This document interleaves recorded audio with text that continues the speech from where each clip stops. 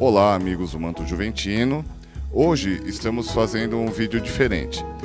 Estou aqui com o nosso amigo Alexandre Fiore, o Xandão, que é um dos grandes colaboradores do nosso canal. É, Xandão, nós gostaríamos de agradecer o, toda a ajuda que você nos dá na pesquisa, na procura de itens antigos do Juventus.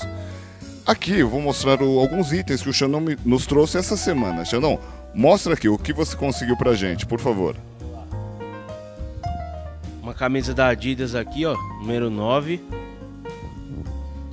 Bem, bem conservada. Uma camisa muito difícil de ser encontrada da Finta, de 2007, ano que o Juventus foi campeão.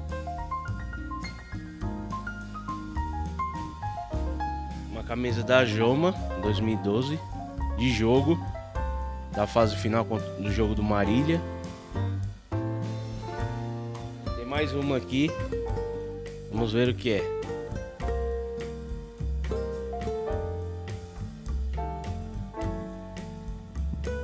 Uma camisa da Superbola 2017, nova na etiqueta.